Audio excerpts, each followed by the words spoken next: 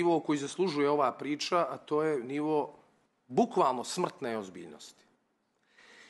Da pojasnim, mi ovih svih dana, i ja bih više volio da se ovaj odbor bavi tim temama, imamo najdirektnije optužbe iz druge države o učešću crnogorskih državljana, o, o najmonstruoznijoj organizovanoj kriminalnoj grupi koja se svakim danom povezuje sa Crnom Gorom, a ja, reći vam direktno, gospodine Katniću, nisam ja vas izjednačio sa Belivukom. Ja mislim da je vaša odgovornost u toj grupi veća, politička, sistemska i da su to obični likvidatori koji nisu mogli ništa da rade u ovim zemljama, u ovoj zemlji, gospodine Milačiću, moram da završim. Gospo, Evo, gospodine Milačiću, a, iznijeli ste veoma ozbiljne optužbe, Pa ja, ja to ću- neću dozvoliti. Ja ću da, da, da, da pojasnim. A rekli ste da je Da njegova pojasnim. odgovornost veća od ljudi iz organizovane grupe. Molim vas, gospodine Milačiću. Pojasnim? Ne, mo- molim vas, ne, gospodine Milačiću, molim vas, go- gospodine, gospodine Katliću, nećete se braniti, niti Samo će vas ko napadati ovdje.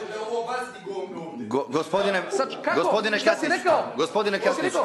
gospodine Katlić, molim